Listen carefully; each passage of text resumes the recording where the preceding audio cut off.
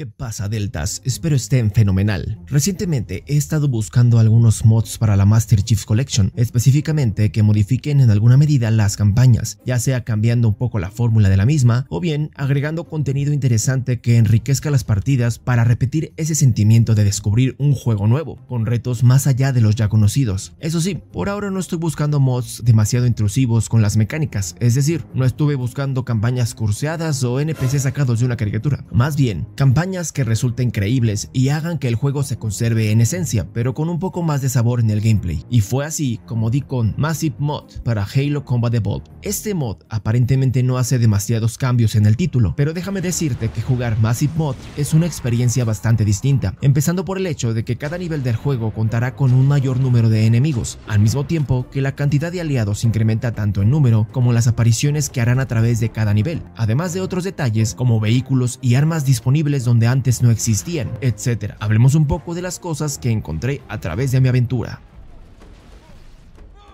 Nada más empezar, te darás cuenta de que hay algo diferente. Te recibe una batalla frenética a través de los pasillos que conforman el Aurum, soldados aliados aquí y allá combatiendo al Covenant sin dar tregua, además de compañeros Spartan, que en esta versión sí que consiguieron abordar la nave y están listos para darte una mano a través de tu travesía por este anillo. Los enemigos abundan y da la sensación de que el ataque del Covenant a la nave es verdaderamente un acto desesperado y agresivo por frenar el avance de los humanos.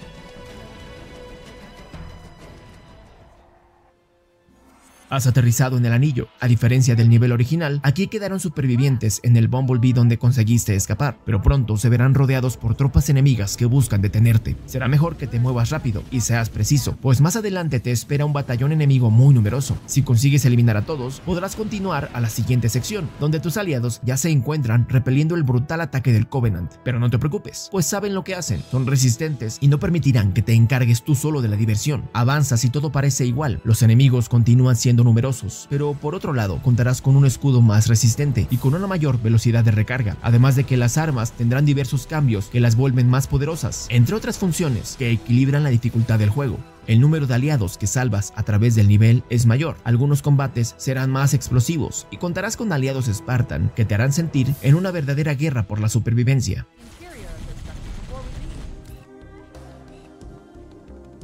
Iniciando, te acompañan numerosos aliados que serán de utilidad para afrontar a la cantidad de enemigos que ya de por sí abundan en este nivel. Todo marcha relativamente normal, hasta que llegas a esta sección previa a las que te llevará al Verdad y Reconciliación, donde podrás conducir un raid antiaéreo, algo que no será de mucha utilidad, pues tus aliados son brutales en su avance y el Covenant no tiene oportunidad. Tan solo vean esta bestialidad. Para algunos, esto ofenderá su habilidad. Para mí, es un respiro y un merecido descanso tras años de sufrir humillado por las oleadas de enemigos que descienden a tu encuentro.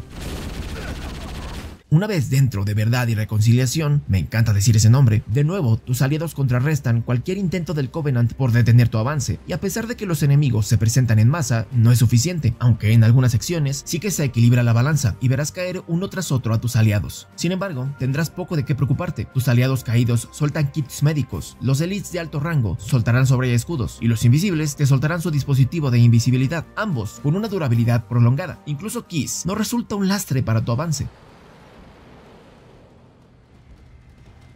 in nivel favorito de muchos. Aquí todos estarán complacidos con la cantidad de enemigos que te reciben al comienzo, iniciando por un par de Banshees que atacarán tus Pelican, mientras que en la playa te esperan Ghost, Hunter y un numeroso ejército que rápidamente iniciará su ataque. De tu bando no te quedas corto y la victoria será pronta. Aquí tú eliges si avanzar con Ghost o con Warhawk. En la siguiente sección hay un Spirit derribado y más tropas aliadas que previamente se encontraban combatiendo con los supervivientes. Al limpiar la entrada al cartógrafo, todo continúa como habitualmente. Avanzas hacia el otro lado de la isla para encontrar la manera de abrir la puerta, pero aquí te reciben aliados que limpiaron la playa, solo te queda avanzar y detener a los cuatro hunters que repelen el ataque, y otro puñado de enemigos que no esperarán a que te acerques, pues directamente se abalanzarán contra ti. Ya abriendo la puerta, decidí cortar camino y lanzarme directamente hacia el panel de control del cartógrafo, aunque al ascender me esperaban diversos aliados que me acompañaban en los combates hasta el punto de extracción. Aquí había un Banshee, así que, sin pensármelo dos veces, me puse a explorar la zona y conocer el límite del mapa antes de dejar el nivel.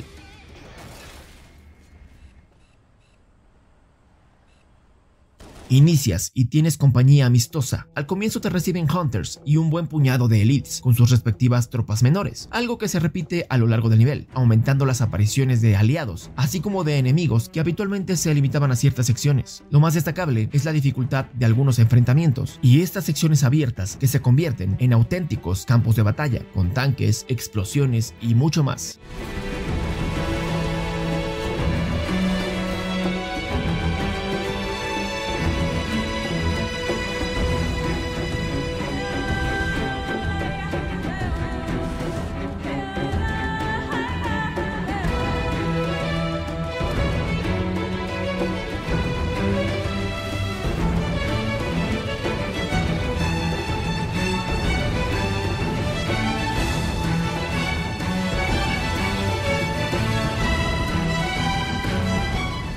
Llegar a este puente natural, tus colegas ya habrán despejado la zona y solo queda tomar un Banshee y acceder a lo alto de la pirámide Forerunner, donde te reciben un montón de Covenant. La presencia de tus compañeros Spartan tal vez no es canónica, pero se siente necesaria. Estás llevando a cabo misiones de considerable riesgo, por lo que tiene sentido que existan refuerzos de tu mismo bando.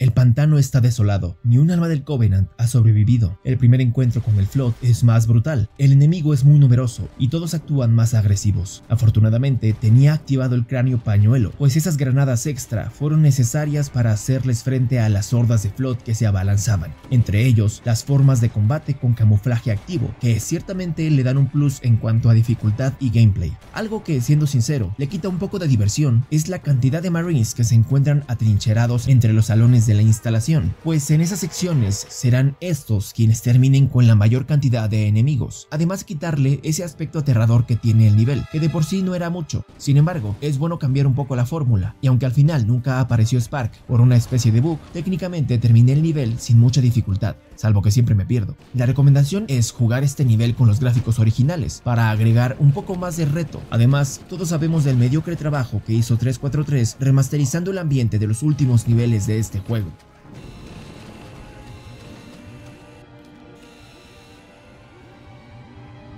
Solo iniciando te darás cuenta de que algo anda mal. No hay ni un solo float en las primeras dos secciones del nivel, hasta que Spark abre el primer portal. Ahí te reciben como locos, como si del metro en hora pico se tratara. Avanzarás y todo será prácticamente el mismo nivel, con una cantidad un poco mayor de enemigos. Sabemos que el jefe no fue la primera opción que Spark consideró para realizar la tarea de conseguir el Index, pues un Marine llamado Marvin ya se había adentrado con bastante éxito a lo largo de los interminables pasillos que componen la biblioteca, teniendo un triste desenlace poco antes de llegar a su destino. Aquí la cosa es un poco distinta, pues te escoltarán una buena cantidad de Spartan a través de las secciones infestadas por el parásito. El creador explica en su página de Nexus que Spark consideró llevar más de tu clase para completar esta importante tarea, cosa que tiene sentido a medias. Si bien es lógico que decidiera abastecerse de suficientes tropas para cumplir con una misión tan peligrosa, también es cierto que, en teoría, cualquiera de esos Spartans pudo haber tomado el índice, siendo que estos ya se encontraban en posición defensiva en buena parte de la instalación, incluyendo el cuarto anterior a la sala donde se encuentra dicho artefacto. Obviamente, no es necesario encontrar explicación a esto, pues este mod está hecho para ser divertido y no necesariamente canónico.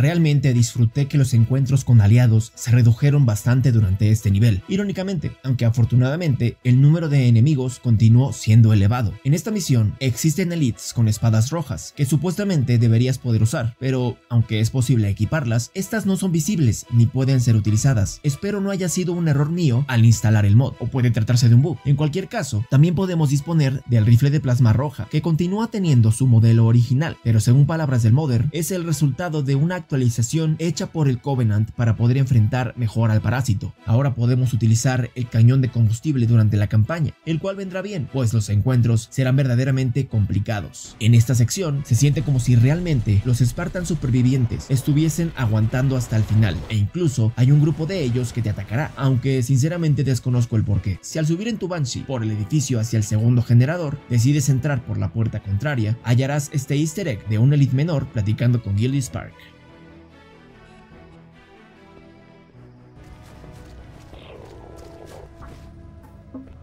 Flood invisibles más Covenant por montones, una combinación realmente loca. Afortunadamente, con el camuflaje activo, podrás pasar desapercibido en algunas secciones innecesariamente complicadas. La diferencia más notoria, Spartans que te abrirán camino en la última sección del nivel y algunos Ghosts que harán el combate un poco más diverso. Realmente disfruté esta revisita a la nave que vio perecer a nuestro querido y odiado Kiss.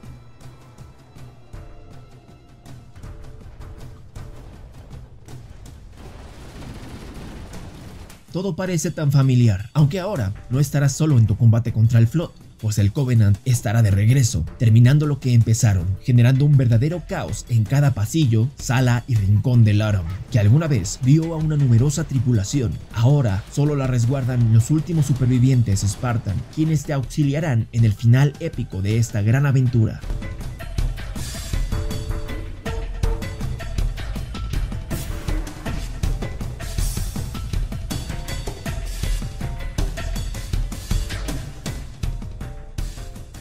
En verdad, este mod hace un gran trabajo, agregando cambios por aquí y por allá, que, aunque parezcan sutiles, modifican el núcleo del juego en más de una ocasión. Puntos positivos. En cuanto a lo mejor de este mod, tenemos algunas mejoras a la resistencia del jefe, las nuevas clases de Elite, que son un poco una recombinación de las ya existentes, que los Hunters ya no sean vulnerables al disparo de la Magnum, así como ver que los enemigos en general cuentan con diferentes rasgos como el uso de armas que habitualmente no portaban, que sean más agresivos, etc. En las batallas, ver todo el caos, las explosiones y el combate frenético es verdaderamente un deleite y algo que muchos fans de la franquicia quisiéramos ver en nuevas entregas. Por último, el aumento en la velocidad de disparo de varias de las armas, el daño amplificado de muchas de estas y el poder hacer zoom y disparar con el rifle de asalto, visión nocturna con el zoom de la Magnum, que ahora también es doble, y más.